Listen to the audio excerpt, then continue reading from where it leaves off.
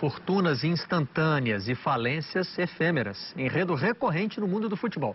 Depois de ser amigo de um rei, o ex-jogador Serginho gastou tudo o que ganhou.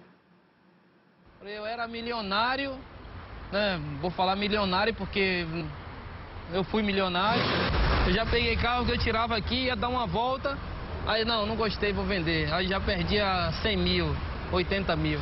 Imagina a pessoa que teve tudo na vida e você chegar a um momento de não ter coisa nem para você para você comer. Eu falei, meu Deus do céu, o que, que eu vou fazer agora da minha vida?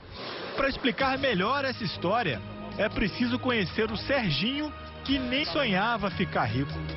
Um atacante que estreou no Corinthians aos 20 anos, fazendo gol de bicicleta. Contra o Flamengo de Sávio, Romário e Edmundo, foi ele quem decidiu o jogo.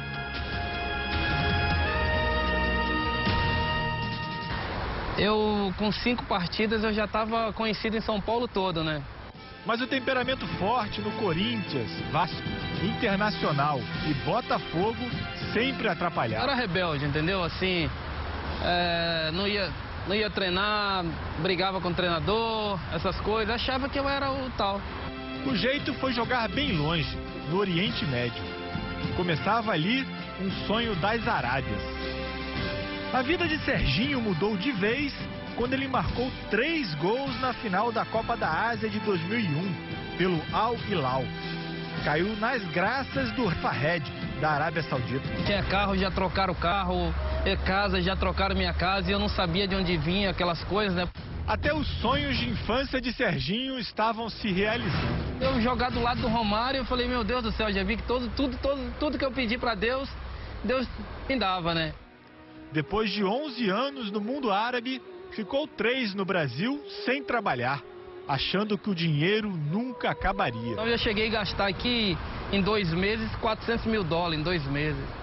No auge da sua carreira, o Serginho chegou a ter 26 imóveis espalhados por todo o Rio de Janeiro. Um deles, nesse condomínio aqui de luxo da Barra da Tijuca, zona oeste do Rio de Janeiro. E esse também foi um dos apartamentos que ele teve que se desfazer nesse período mais difícil da sua vida, né, Serginho? É, realmente. Alguns problemas e precisei vender, mas é que sirva de exemplo para a garotada, né? Que quando ganhar o seu dinheirinho, que venha, que aplique, né? Para que quando no futuro não venha precisar, né?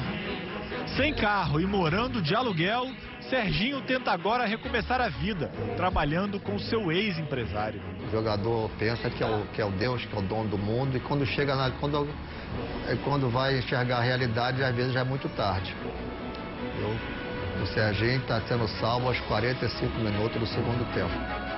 Felizmente, Serginho ainda tem muitas outras partidas pela frente. Passou, passou. A gente tem que pensar desse jeito, porque senão a gente acaba não vivendo.